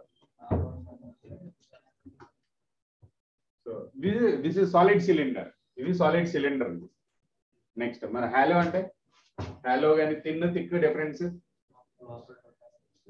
so inside hollow ఉంటే కంప్లీట్ గా థిన్ సిలిండర్ అవుతుంది ఎంటీ స్పేస్ ఎగ్జాంపుల్ ఏమైనా చెప్పగలరా ఎగ్జాంపుల్ ఓ పైప్ పైప్ తీసుకుంటే అది ఏమవుతుంది so hollow so this is nothing but thick cylinder thick అంటే లోపల ఇన్సైడ్ రేడియస్ ఉంది అవుట్ సైడ్ రేడియస్ కూడా ఉందిగా దీని ఏమంటాం థిక్ సిలిండర్ అని తీసుకోవచ్చు థిక్ సో ఇది థిక్నెస్ చాలా తక్కువ ఉంది అనుకోండి చాలా తక్కువ ఉంటే దాన్ని ఏమంటాం థిన్ సిలిండర్ అంటాం అంటే ఇన్సైడ్ మొత్తం హ్యాలోనే మరి సాలిడ్ అంటే ఇదంతా ఫిల్ చేసేసాం అనుకోండి ఏదో మ్యాటర్తో సో ఫిల్ చేస్తే ఏమవుతుంది that is nothing but solid cylinder so cylindrical shape అంటే ఇది సాలిడ్ అంటే లోపల కంప్లీట్ గా మెటీరియల్ తో ఫిల్ చేసేస్తే then that is called solid cylinder next thick cylinder అంటే ఇక్కడ ఈ ఔటర్ రేడియస్ ఇన్నర్ రేడియస్ కనుక ఎగ్జిస్ట్ అయితే దాన్ని థిక్ సిలిండర్ అంటాం నెక్స్ట్ థిన్ సిలిండర్ అంటే ఈ లేయర్ థిక్నెస్ చాలా తక్కువ ఉంది అనుకోండి అప్పుడు ఏమంటాం థిన్ సిలిండర్ అని చెప్తాం సో త్రీ టైప్స్ అంటే కండక్టర్ షేప్ ఎలా ఉంటుంది కరెంట్ క్యారింగ్ కండక్టర్ అనేది ఈ మూడు షేపుల్లో కూడా ఉంటుంది సో కరెంట్ వైర్ ఎలా ఉంటుంది like a cylindrical shape so general shape ఎలా చెప్తాం స్పీర్ అని చెప్తామా స్పీర్ అంటామా sphere అనకూడదుగా so that is a simply cylindrical shape current carrying conductor cylindrical cylindrical లో మళ్ళీ ఎన్ని టైప్స్ ఉన్నాయి so three types what is the first one solid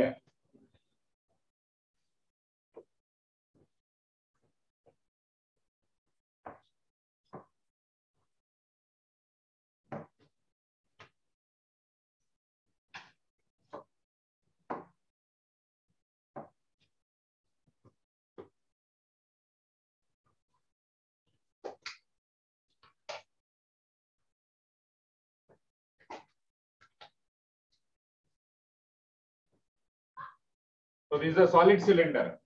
So radius of this one is a, let it be r. So r is the radius of the cylinder. This is a solid one. Next, halo can be divided into two types. First one is a thin cylinder.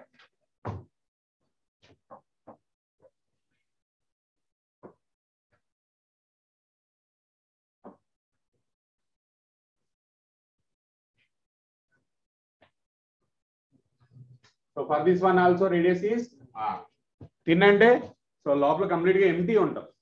next six cylinder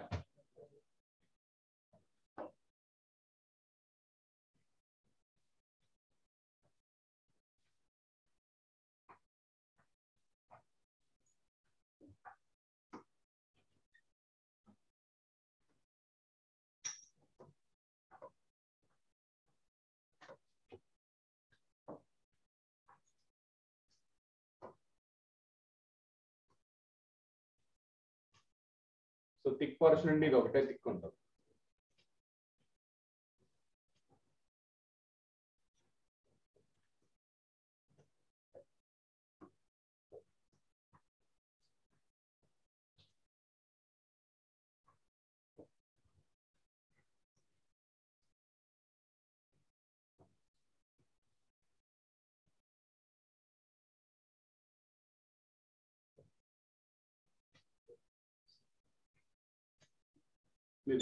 అదే side view లో చూస్తే top view ఇది ఎలా కనిపిస్తుంది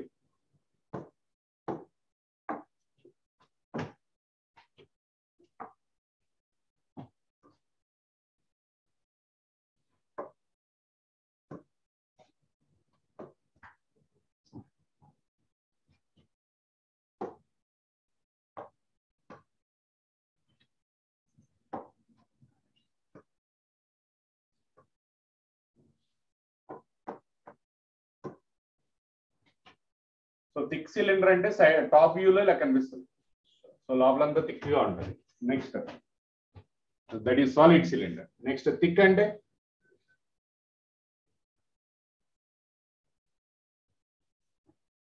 ఇలా ఉంటుంది thin అంటే లోపల ఏమిటి so this is side view పైన side view this is top view so top లో చూస్తుంటే ఇలా కంప్లీట్ గా సాలిడ్ అదే థిన్ సిలిండర్ వచ్చేసరికి కంప్లీట్ గా హ్యాలో నెక్స్ట్ థిక్ సిలిండర్ వచ్చేసరికి inside radius outside radius కూడా ఎగ్జిస్ట్ అవుతాయి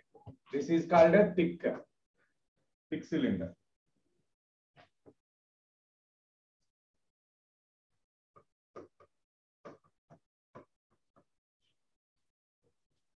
ఓకేనా సో టాప్ వ్యూ ఓకేనా లేదా next so we need to calculate or we need to write the equation for magnetic field magnetic field equations రాయాలి so ఇక్కడ different cases ఏ ఉంటాయి different cases ఏముంటాయి అవుట్ సైడ్ అవుట్ సైడ్ ఒకటి next inside inside అంటే ఇక్కడ center దగ్గర నుంచి కొద్దిగా డిస్టెన్స్ లో నెక్స్ట్ సో ఈ రెండింటికి రెండు కేసులు వస్తాయి ఇన్సైడ్ ఒకటి అవుట్ సైడ్ ఒకటి ఆ రెండే వస్తాయి దీనికి ఫస్ట్ రెండింటికి మరి థర్డ్ వన్ కి three different points there exist one is outside point second one is so inside point ఇది ఒకటి ఇన్సైడ్ పాయింట్ ఇది ఒకటి inside the hollow space inside the solid space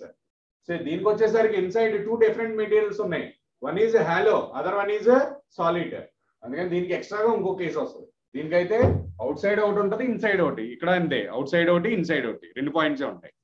now what is the magnetic field that is outside the cylinder a cylinder అయినా magnetic field outside formula ఒకటే B equal to cylinder we can treat that one as a wire cylinder ని wire కింద తీసుకోవచ్చు so B equal to mu naught into N I by two pi r so ఇక్కడ కూడా B equal to mu naught N I by two pi r here also same B equal to mu naught N I by two pi into r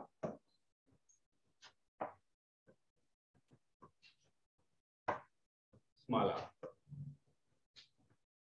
so r is the distance from center to that point so center నుంచి ఆ point కి ఎంత distance ఉంటే అదే small r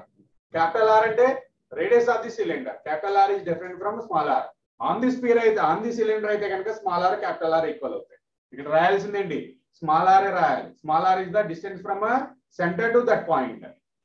so ఇదంతా ఇక్కడ small r ఎలా ఉంటుంది ఈ కేసులో r is greater than capital r ఈ కేసులో ఫస్ట్ కేసులో ఫస్ట్ కేసులో ఆర్ అనేది అవుట్ సైడ్ ఉంది అంటాం లేదు అవుట్ సైడ్ ని ఎలా చెప్పొచ్చు అవుట్ సైడ్ ఆర్ అనొచ్చు లేదంటే r is greater than capital r అని కూడా అనొచ్చు r is greater than capital r అన్నా అవుట్ సైడ్ ది సిలిండర్ అన్నా ఒకటే ఒక్కొక్కసారి అవుట్ సైడ్ ది సిలిండర్ అని మెన్షన్ చేయడం మనకి r greater than capital r అంటాడు అంటే ఏ కేసు తీసుకోమని అవుట్ సైడ్ ది సిలిండర్ తీసుకోమని next so inside the cylinder r value ఎంత అవుతుంది r is less than capital r r value capital r కన్నా తక్కువ ఉంటుంది then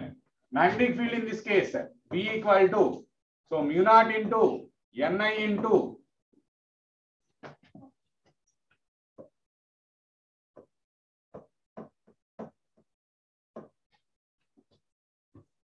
so mu naught N I into r by r square so ఇక్కడ N I by small r వచ్చింది కానీ ఇక్కడ ఇంకొక ఆర్ స్క్వేర్ రాసి ఇక్కడ ఒక ఆర్ రాసి ఆర్ అంటే రేడియస్ సో ఇక్కడ ఆర్ అంటే డిస్టెన్స్ సో ఇన్సైడ్ ఫార్ములా ఏమవుతుంది mu naught N I into r by two pi r square so ఇక్కడ ఉన్న ఫార్ములా చూడండి రెండు కంపేర్ చేయండి ఒకసారి ఎక్స్ట్రాగా పైన రాసాం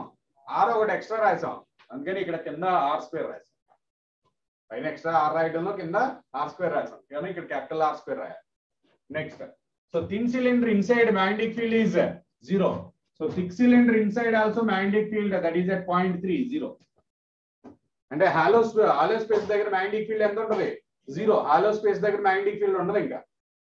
సో ఇక్కడ హాలో ఉంది so magnetic field zero point three అంటే అది కూడా హాలోనే సో అక్కడ కూడా మ్యాగ్నెటిక్ ఫీల్డ్ జీరోనే నెక్స్ట్ సో నెక్స్ట్ కేస్ రాయాలంటే ఈ రెండింటికి నెక్స్ట్ కేస్ ఉండదు inside the solid portion so this is inside the hollow portion inside the hollow portion next inside the solid portion so let it be B two B two equal to mu not ni by 2 pi into r square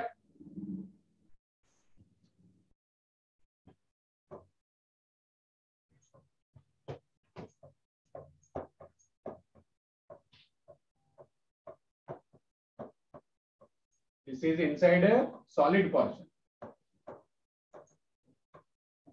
this is inside solid portion so ఆ solid portion inside అనేది ఆ case దీనికి ఉండదు now what is the graph between these two graph గీయాలంటే దీనికి just draw a graph between magnetic field and distance B and are బికి కే graph గీసాం అనుకోండి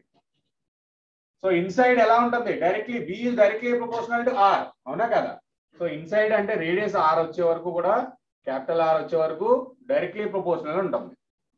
next side B is inversely proportional to or inversely proportional graph ఎలా ఉంటుంది so ఇది straight line తర్వాత కరవ్ నెక్స్ట్ ఇక్కడ దీన్ని గీస్తే సో ఇన్సైడ్ జీరో కదా సో అంటే ఇక్కడ వరకు జీరోనే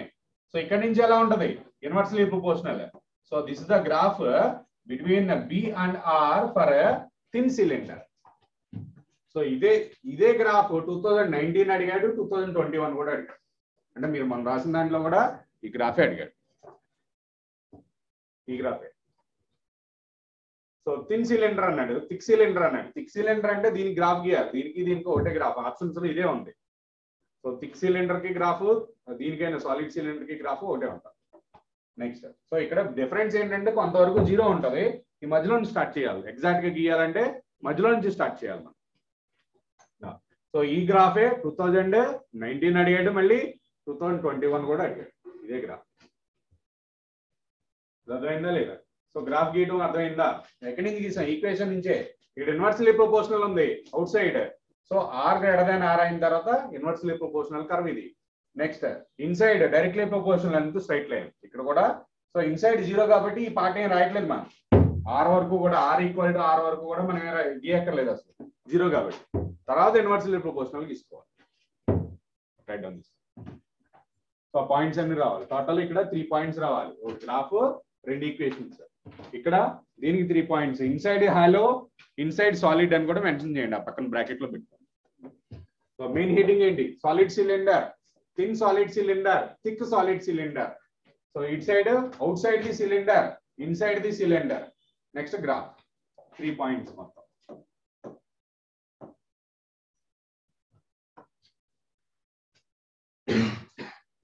ఫార్ములా ఫస్ట్ లైన్ మూడింటికి ఒకటే formula mu naught N I by two by r N లేకపోతే mu naught I by two five r I మూడింటికి నెక్స్ట్ ఇన్సైడ్ థిన్ పోర్షన్ అయితే జీరో సో థిక్ పోర్షన్ కూడా ఎట్ హ్యాలో హ్యాలో సైడ్ అయితే hollow region లో అయితే జీరోనే magnetic field next solid cylinder కి మారుతుంది solid cylinder formula ఏంటి mu naught into I into r by two by r square mu naught N I into r by two by r square solid ఒక్కదానికి గుర్తుంచుకుంటే ఎక్స్ట్రాగా సరిపోతుంది మిగిలిన రెండు జీరోనే రాస్తాం సో లాస్ట్ ఫార్ములా అంటారా ఇది చాలా రేర్ మనం అడగడం కూడా బి టూ రాసాం కదా సో ఈ ఫార్ములా చాలా రేర్ కండిషన్ మనకి ఇది ఈక్వేషన్ అడిగేది అంటే సొల్యూషన్ అడిగే దాని మీద చాలా రేర్ కండిషన్ సో ఇది కాకుండా మిగిలిన గుర్తున్నాయా లేదా ఫస్ట్ లైన్ అంతా ఒకటే కదా mu naught I by two pi r నాలుగు వన్ ఏం రాసాం ఇన్ఫైనైట్ గా అదే రాసాం సో ఇక్కడ మిగిలిన రెండింటికి జీరో రాసి ఈ ఒక్క ఫార్ములాని గుర్తుపెట్టుకోవాలి ఈ టేబుల్ మొత్తంలో మీరు కొత్తగా నేర్చుకోవాల్సిన ఫార్ములా అండి ఇది ఒకటే mu naught I into r by two pi r square కింద ఆర్ స్క్వేర్ రాసి పైన ఆర్ రాయండి సరిపోతుంది there magnetic field inside the solid solid cylinder solid cylindrical wire or solid cylinder so graph first straight line తర్వాత curved shape రెండు straight line గీకండి first straight line తర్వాత curved shape so దీనికి first zero తర్వాత curved shape so దానికి కూడా వేరే option లేదంటే సిక్స్ సిలిండర్ కూడా ఇదే తీసుకోవాలి ఇది కాదు ఇదే తీసుకోవాలి ఇన్సైడ్ సో ఇక్కడ నుంచి స్టార్ట్ అవుతుంది కదా ఈ పాయింట్ దగ్గర నుంచి మ్యాండిక్ డిగ్రీలు స్టార్ట్ అవుతుంది సో సిక్స్ సిలిండర్ కి అడిగాడు అనుకోండి గ్రాఫ్ అప్పుడు ఏం చేయాలి ఇది ఇది లేకపోతే ఆప్షన్ అప్పుడు దానికి వెళ్ళండి అంతే తప్ప ఫస్ట్ ఆప్షన్ ఇది ఉంటే ఇదే తీసుకోవాలి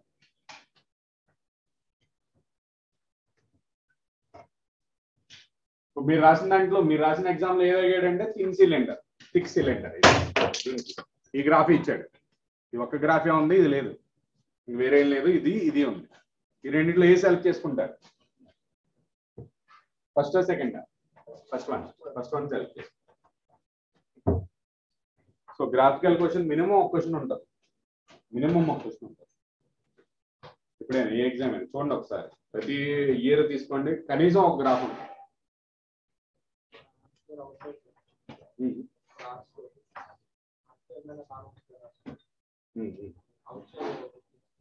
ఆర్ అంటే ఇన్సైడ్ ఎక్కడైనా తీసుకో ఆర్ అంటే ఇది ఏ ఉంది మైనస్ స్క్వేర్ వస్తుంది కదా మైనస్ రాదు ఇంకా ఇది ఇన్సైడ్ ఇక్కడ సెంటర్ నుంచి ఈ పాయింట్ వరకు ఉన్న డిస్టెన్స్ నుంచి అవుట్ సైడ్ డిస్టెన్స్ ఉన్నది అవుట్ సైడ్ ఇక్కడ short r one r two internal radius ఒకటి ఎక్స్టర్నల్ రేడియస్ ఒకటి ఎక్కువ ఉన్నది ఎక్స్టర్నల్ రేడియస్ తక్కువ ఉన్నది internal radius r one not tool external external radius ఒకటి ఇంటర్నల్ రేడియస్ ఒకటి ఆర్ వన్ నాట్ టూ అంటే ఆర్ అంటే సెంటర్ నుంచి ఏ పాయింట్ దగ్గర అడుగుతున్నాడు ఏదో టెన్ టెన్ సెంటీమీటర్ రేడియస్ ఉంది ఇలా ఉంది దీనికి ఒక టెన్ సెంటీమీటర్ రేడియస్ ఉంది అనుకోండి ఎక్కడో ఫైవ్ సెంటీమీటర్ దగ్గర అడిగాడు అనుకోండి స్మాల్ ఆర్ ఫైవ్ తీసుకోవాలి అర్థమైందా స్మాల్ ఆర్ అనేది ఫైవ్ తీసుకుంటాం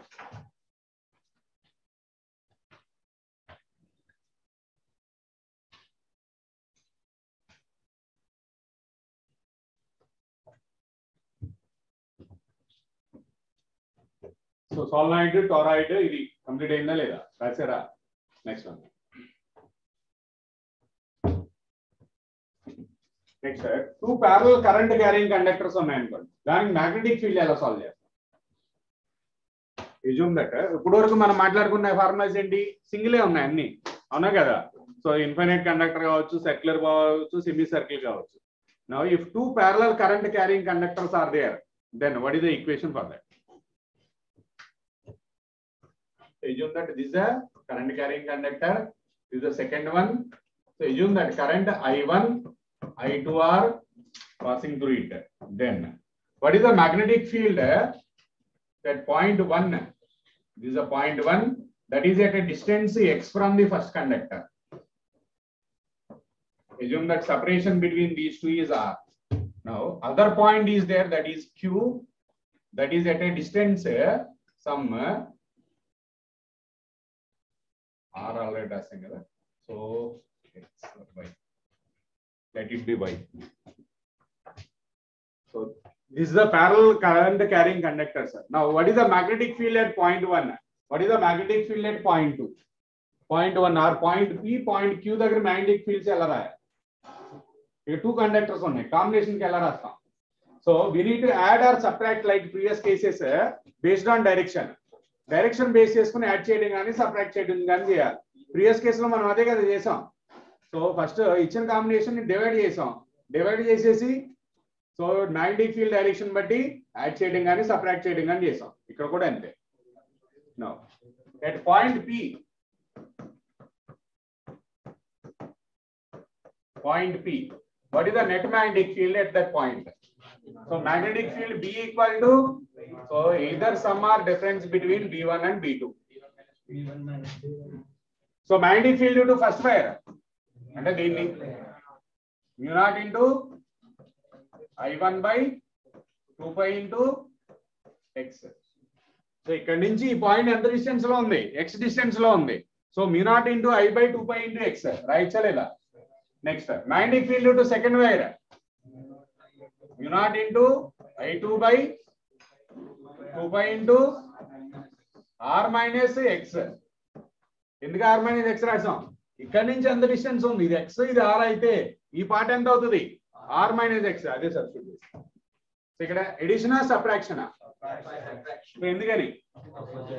సో రెండు ఆపోజిట్ డైరెక్షన్ లో ఉంటాయి మ్యాండిక్ ఫీల్డ్ సో దీనికి మ్యాండిక్ ఫీల్డ్ ఇక్కడ ఎలా వస్తుంది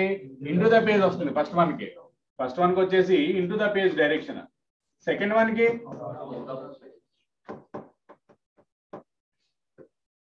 సెకండ్ వన్ డైరెక్షన్ ఎలా వచ్చింది అవుట్ ఆఫ్ ది పేజ్ వచ్చింది ఇది సెకండ్ ది సో డైరెక్షన్ ఎలా వచ్చింది అవుట్ ఆఫ్ ది పేజ్ వచ్చింది direction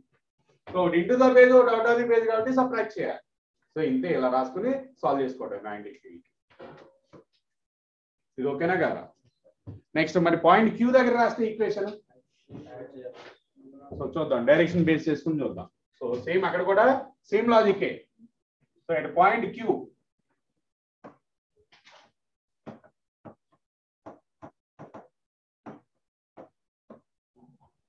so magnetic field B equal to B one B two so B one mu naught into I by two pi into y next B two mu naught into I by two pi into r plus y ఇది రాయడం వచ్చిందా రాలేదా అది finalise చేయండి first so equation ఇలా రాయడం వస్తుందా రావట్లేదా సో రాయగలరా లేదా so is this clear or not ఇది అర్థమైందా కానీ గుర్తు ద నెక్స్ట్ వన్ ఇది అర్థమైందా అంటే ఈక్వేషన్ రాయడం వస్తే అయిపోయినట్టు ఇక్కడ మెజారిటీ అండి ఫస్ట్ స్టెప్ అండి ఇంపార్టెంట్ స్టెప్ అండి ఈక్వేషన్ రాయడమే ఇది రాసిన తర్వాత దీన్ని ఫర్దర్ గా సాల్వ్ చేసుకోవడం సబ్స్టిట్యూట్ చేసుకోండి ఇది రైట్ రావాలి ఇది రైట్ వస్తే టాపిక్ అయినట్టు నెక్స్ట్ ఇక్కడ ఇక్కడ చూడండి పాయింట్ క్యూ దగ్గర పాయింట్ క్యూ దగ్గర మ్యాగ్నెటిక్ ఫీల్డ్స్ ఎలా ఉంటాయో ఐడెంటిఫై చేయండి సో కరెంట్ ఇలా ఉంది సో ఇక్కడ మ్యాగ్నెటిక్ ఫీల్డ్ ఇటు ఉంటుంది ఇక్కడ కరెంట్ కూడా ఎలా ఉంది అంటే ఇటు సైడ్ అంత మ్యాగ్నెటిక్ ఫీల్డ్ ఎలా ఉంటది అవుట్ ఆఫ్ ది పేజ్ రెండు అవుట్ ఆఫ్ ది పేజ్లే సో ఇది అవుట్ ఆఫ్ ది పేజే ఇది కూడా అవుట్ ఆఫ్ ది పేజే సో ప్లస్ ఇది కూడా ప్లస్ సో అన్నాం క్వాంటిటీ సాల్వ్ చేసుకోండి అంతే so parallel current carrying conductors ఇచ్చి మ్యాగ్నెటిక్ ఫీల్డ్ కనుక క్యాల్కులేట్ చేయమంటే ఈ ప్రొసీజర్ అయితే అది అవ్వచ్చు లేదంటే ఇది అవ్వచ్చు అయితే అది తెలియదు right next editing magnetic field to two parallel current carrying wires magnetic field to two parallel current carrying wires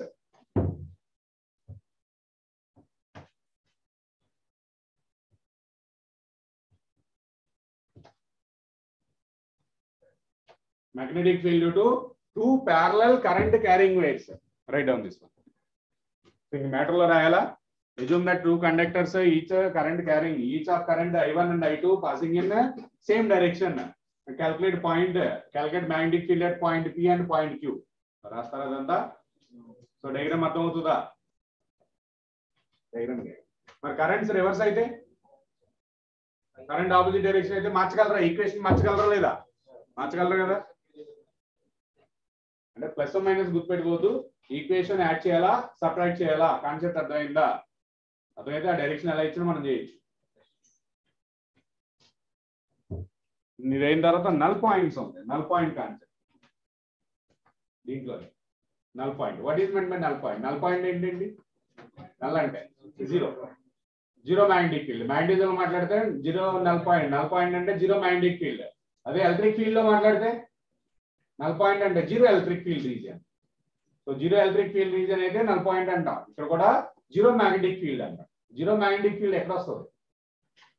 ఈ కేసులో చెప్పండి ఎక్కడ పాజిబిలిటీ ఉంది so in బిట్వీనా outside in between possibility zero వచ్చే పాజిబిలిటీ ఉందా అవుట్ సైడ్ జీరో వచ్చే possibility ఉందా ఎలా ఫైనలైజ్ చేయాలి ఎందుకు ఫైనలైజ్ చేయాలి ఇన్ బిట్వీన్ జీరో రావాలంటే ఆపోజిట్ డైరెక్షన్ లో ఉండాలి మ్యాగ్నెటిక్ ఫీల్డ్స్ కరెంట్స్ కాదు మ్యాగ్నెటిక్ ఫీల్డ్స్ ఆపోజిట్ డైరెక్షన్ లో ఉండాలి ఈ రెండు కేసుల్లో ఆపోజిట్ డైరెక్షన్ ఎక్కడ వచ్చింది in between so in between zero వచ్చే ఛాన్స్ ఉంది అప్పుడు magnetic fields equal and opposite అయితే నెట్ ఏమవుతుంది జీరో అయిపోతుంది నెట్ మ్యాగ్నెటిక్ ఫీల్డ్ జీరో అంటే ఆ పాయింట్ ఏమంటా నల్ పాయింట్ అని చెప్తాం so null point is the point where the net magnetic field ఈ zero first so null point calculation చాలా ఈజీ ఎలా నెట్ మ్యాగ్నెటిక్ ఫీల్డ్ జీరో అవ్వాలంటున్నాం లేదంటే ఇంకో కండిషన్ ఏమంటున్నాం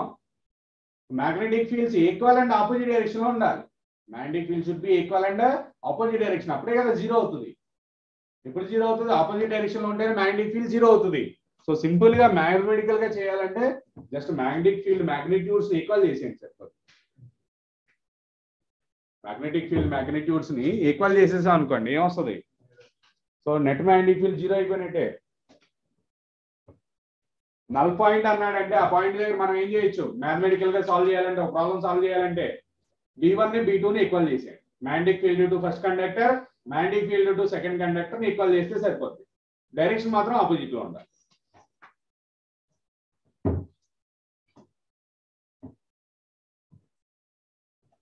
next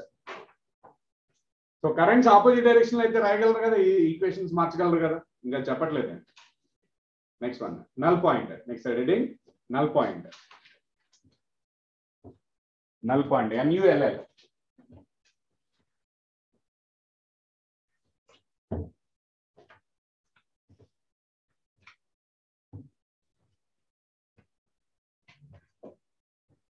Now, what is meant by null point?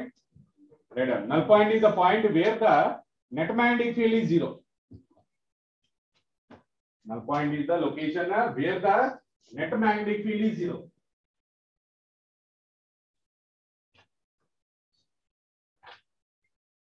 Next so currents same direction లో ఉన్నాయనుకోండి null point ఎక్కడ ఎగ్జిస్ట్ అవుతుంది అంటే ఆపోజిట్ డైరెక్షన్ ఎక్కడ వస్తే అక్కడ ఎగ్జిస్ట్ అవుతుంది magnetic field opposite direction so ఇక్కడ మ్యాగ్నెటిక్ ఫీల్డ్ ఆపోజిట్ డైరెక్షన్ ఎక్కడెక్కడ ఎగ్జిస్ట్ అవుతుంది in between outside in between exist అవుతుంది సో నల్ పాయింట్ అన్నాడంటే then we can write magnitude of the first magnetic field equal to the magnitude of the second magnetic field null point అంటే magnetic fields ని equal చేసేయచ్చు అంటే numerical calculate చేయాలంటే just equate the magnetic field direct గా చేసేయచ్చు null point అన్నాడంటే magnetic field to first wire magnetic field to second wire ఆ location దగ్గర ఈక్వల్ గా ఉండాలి అర్థమైందా లేదా next so magnetic field to first wire ఎంత పాయింట్ పి దగ్గర సో నల్ పాయింట్ అంటే పాయింట్ పీనే కదా so magnetic field into first wire mu naught into I by I one by two pi into x ఇక్కడ mu naught into I two by two pi into r minus x so I one by x equal to I two by r minus x so solve for unknown quantity ఇంతే unknown క్వాంటిటీకి solve చేసుకోవాలి ఇలా రాయాలి null point null point calculation అంటే So next, if the currents are in the same direction, opposite direction, then so దీనికి null points ఏం అవుతాయి assume that this is the current I1, this is current I2. Separation between these two is again R only. Now identify the location where the net magnetic field is zero. That is nothing but a null point. Outside. So outside. ఇక్కడ ఇక్కడ. Outside enter ఎన్ని ఉన్నాయి ఇక్కడ ఇక్కడ. ఇది తీసుకోవాలి. So ఏ తీసుకోవాలంటే వాల్యూ మ్యాగ్నిట్యూడ్ ఏ తక్కువ ఉంటే తీసుకోండి అంటే ఐ ఐ వన్ మ్యాగ్నిట్యూడ్ తక్కువ ఉంది అనుకోండి ఐ వన్ దగ్గర తీసుకోండి ఐ టూ మ్యాగ్నిట్యూడ్ తక్కువ ఉంది అనుకోండి ఐ టూ దగ్గర తీసుకోండి so that is based on the magnitude of తీసుకోండి one so I one magnitude అంటే ఐ వన్ వాల్యూ తక్కువ ఉండే ఇక్కడ తీసుకోండి ఐ టూ వాల్యూ తక్కువ ఉండే ఇక్కడ తీసుకోండి సో ఇక్కడ తీసుకుందాం సో ఇది ఉందంటే x is the position where where you'll get net magnetic field is that is from first wire first wire నుంచి ఎక్స్ డిస్టెన్స్ లో నల్ నల్ పాయింట్ వస్తుంది అనుకుందాం now can you write the equation for this దీనికి equation రాయగలరా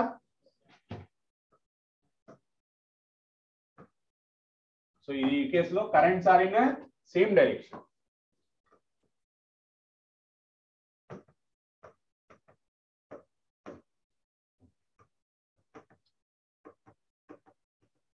next currents in same opposite direction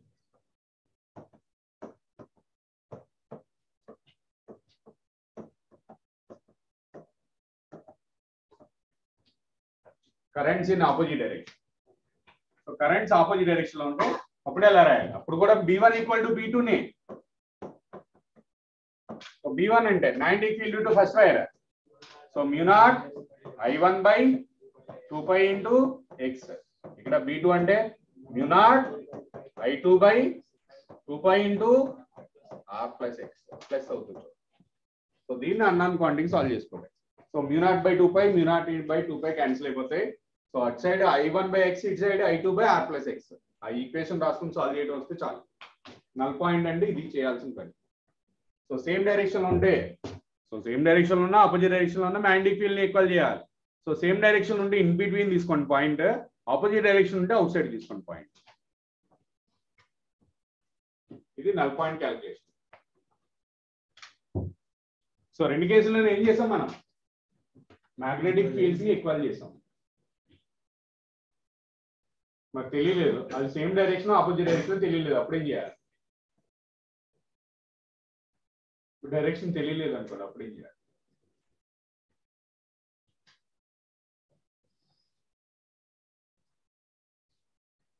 అప్పుడేం చేయాలి so answer minus వస్తుంది అంతే అంతా క్యాల్కులేట్ చేశారు ఆన్సర్ మైనస్ వచ్చిందంటే మనం తీసుకున్నది కరెక్ట్ కాదు వేరే సైడ్ తీసుకోవాలి ఇన్ బిట్వీన్ తీసుకున్నారు కానీ మీకేమో ఆన్సర్ మైనస్ వచ్చింది అంటే మీనింగ్ ఏంటి ఆ పాయింట్ అవుట్ సైడ్ ఉన్నాయి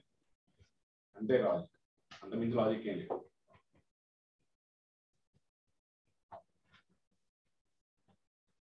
ఇవన్నీ ఎక్కడి నుంచి వచ్చినాయి బేసిక్ బేస్ ఫార్మ్ ఏమైనా ఉందా దట్ ఈస్ యాంబియస్ లా అసలు డిస్కస్ చేయలేదు మనం యాంబియర్స్ లా నుంచి ఇవన్నీ వచ్చింది సో అది రాయాలి నెక్స్ట్ టాపిక్ ఏంటి యాంబియర్స్ లా సో యాంబియర్స్ లా అయితే ఈ Ampere's law and Biot Savart's law అయిపోతే ఏం లేదు రెండు ఫార్మాస్ అవి ఎగ్జాంపుల్స్ ఉండే ఎంబీఆర్ ఫార్మ్ ఎంబీఆర్స్ లాగి బయాట్స్ అవార్డ్స్ అయితే ఏం లేదు ఒక ఫార్మా ఒకటే రెండు చేసి టాపిక్ కంప్లీట్ అవుతుంది ఇందులో లాస్ట్ ఇయర్ అడిగిన క్వశ్చన్ లో మెజారిటీ ఎందులో అడిగాడంటే మ్యాగ్నెటిక్ మూమెంట్ అని అడిగాడు మెజారిటీ క్వశ్చన్స్ ఏం అడిగాడు మ్యాగ్నెటిక్ మూమెంట్ అడుగుతున్నాడు మ్యాగ్నెటిక్ మూమెంట్ మ్యాగ్నెటిక్ మూమెంట్ అంటే ఏం కాదు కరెంట్ ఇంటూ ఏరియా కాయిల్ లో మ్యాగ్నెటిక్ మూమెంట్ అంటే current into area so area circular coil అయితే ఏరియా ఉంటుంది బై ఆర్ స్క్వేర్ స్క్వేర్ అయితే side length whole square L square కానీ ఏ స్క్వేర్ కానీ ఇంటూ కరెంట్ అంతే అంతవరకు అంతవరకు చేయగలిగితే చాలు మ్యాగ్నెటిక్ మూమెంట్ వచ్చేస్తుంది సో మ్యాగ్నెటిక్ మూమెంటే రెండు మూడు సార్లు అడిగాడు క్లియర్ లాస్ట్ టైం కూడా అడిగాడు magnetic moment two thousand twenty one మీరు రాసిన దాంట్లో సో మొత్తం ఫోర్ క్వశ్చన్స్ ఉన్నాయి lesson last year last year first year తక్కువ ఇచ్చాడు సెకండ్ ఇయర్ ఎక్కువ ఇచ్చాడు అందులో మ్యాగ్నెటిక్ నాలుగు క్వశ్చన్ ఒక క్వశ్చన్ గ్రాఫ్ ఇంకో క్వశ్చన్ మ్యాగ్నెటిక్ మ్యాగ్నెటిక్ మూమెంట్ అడిగాడు మ్యాగ్నెటిక్ మూమెంట్ అంటే ఈ topic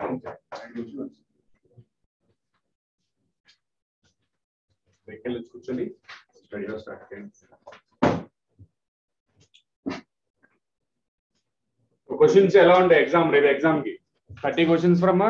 Newton's laws fifteen questions from yesterday's topic so నిన్న టాపిక్ వరకు ఈ రోజు టాపిక్ ఏం లేదు నిన్న టాపిక్ వరకు ఫిఫ్టీన్ క్వశ్చన్స్ అంటే ఏం చేసాం మనం magnetic field to different combinations అంతే కదా చేసింది magnetic field to different combination circle కావచ్చు సెమీ సర్కిల్ కావచ్చు లేదు బెండ్ చేసినప్పుడు వైర్ బెండ్ చేసినప్పుడు ఇంకో ఎగ్జాంపుల్ డిస్కస్ చేయాలి మనం దట్ ఈస్ నథింగ్ బట్ అంటే ఒక వైర్ ని బెండ్ చేస్తే ఎన్ నెంబర్ ఆఫ్ టర్న్స్ కింద బెండ్ చేస్తే మ్యాగ్నెటిక్ ఫీల్డ్ ఎలా ఉంటుంది magnetic field is directly proportional to N square వస్తుంది అది మెజారిటీ పీపుల్ కి డౌట్ ఉంది అది సో అది ఒకటి డిస్కస్ చేయాలి చేయండి నాకు నెక్స్ట్ క్లాస్ లో ఒక వైర్ ని బెండ్ చేస్తే ఎన్ నెంబర్ ఆఫ్ టర్న్స్ కింద బెండ్ చేస్తే మ్యాగ్నెటిక్ ఫీల్డ్ దేనికి ప్రపోర్షనల్ గా ఉంటుంది directly proportional to N square number of ten whole square proportional గా ఉంటుంది సో అదొకటి డిస్కస్ చేయాలి